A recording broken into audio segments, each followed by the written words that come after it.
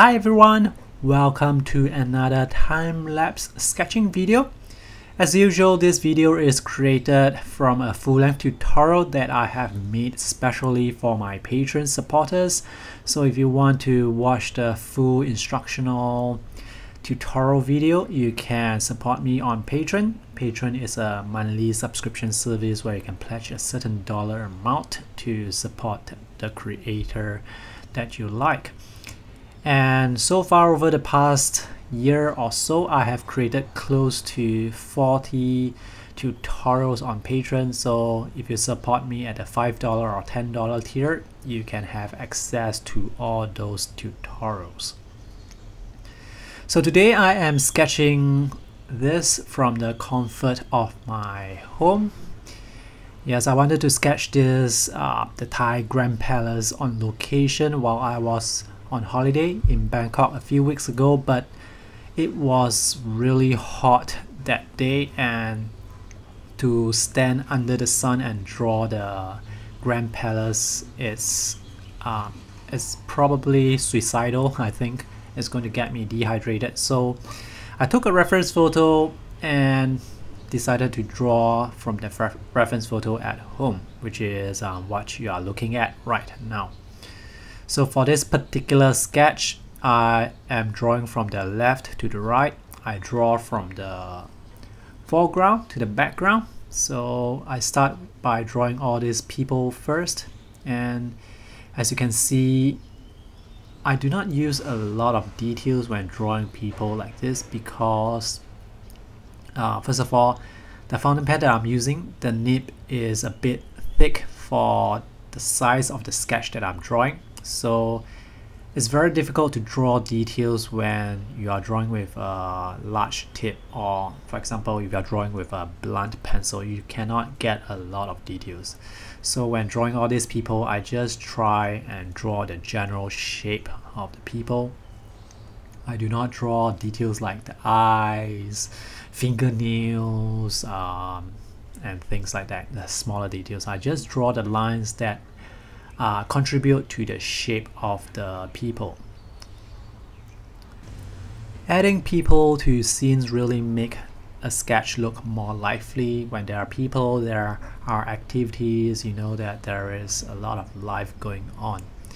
Now sketching people from reference photo it's much easier compared to sketching people from location because uh, people are always moving around walking here and there it's difficult to draw them when they are moving around. So if you want to practice drawing people, you can draw them from reference photo.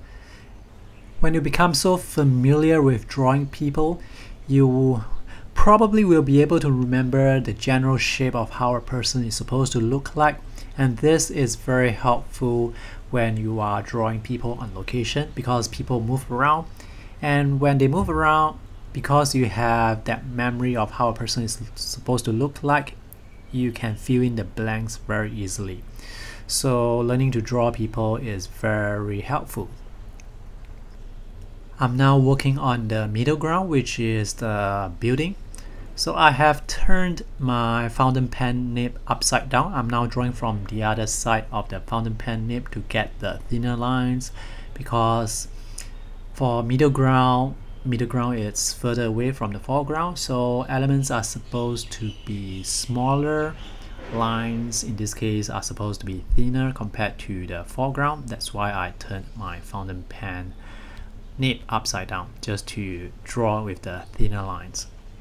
And now that I have finished sketching I'm going to use watercolor to apply over the pen and ink sketch. The colors that I'm using today are New Gamboge quinacridone red and French ultramarine. So that's just the color wheel that I have painted out to sort of get an idea about the colors that I can get with those three colors.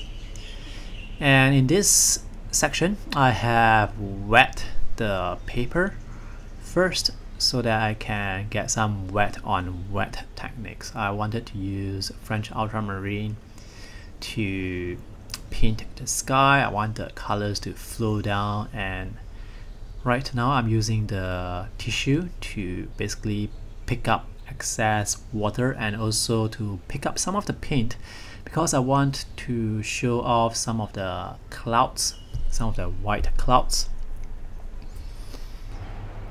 Sometimes I begin painting with brighter colors like yellow, orange or red.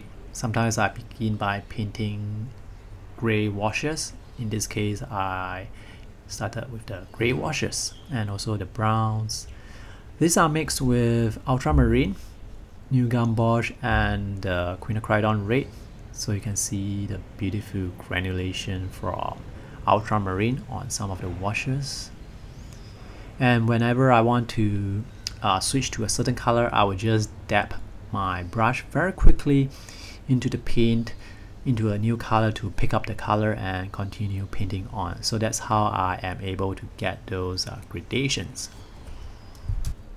I'm not sure if you can see how crowded that place is but as I look at this sketch it brings back memories of me visiting the place and also just how many people, how many tourists there are on that particular day, on that hot and humid afternoon. And I'm painting the trees here with sap green. And now I'm painting the roofs of the Grand Palace with new gamboge and a mix of quinacridone red. For the shadow areas, they are mostly French ultramarine mixed with quinacridone red when I want the shades to be darker, I use more ultramarine. For the last stage, I'm adding some shadow details and also making some of the areas a bit darker to get that extra contrast. This is a particularly cloudy day, so there are no harsh shadows, but for my sketch, I wanted to make some of the shapes a bit darker to get a contrast so that it will read better for the person who's looking at the sketch. This sketch is almost complete. I kinda like this limited palette that I'm using. Now this palette is not able to create bright greens, that's why I have to use sap green. And remember, to support me, you can just support me on my Patreon or Gumroad pages and have access to additional drawing tutorial videos where you can learn how to draw and paint. Just check out the links in the video description below to my Patreon and Gumroad pages. So that's all for today's video. I hope you enjoyed it. Thanks for watching. If you have any questions, let me know in the comment section below. Thanks and see you in the next video. Bye.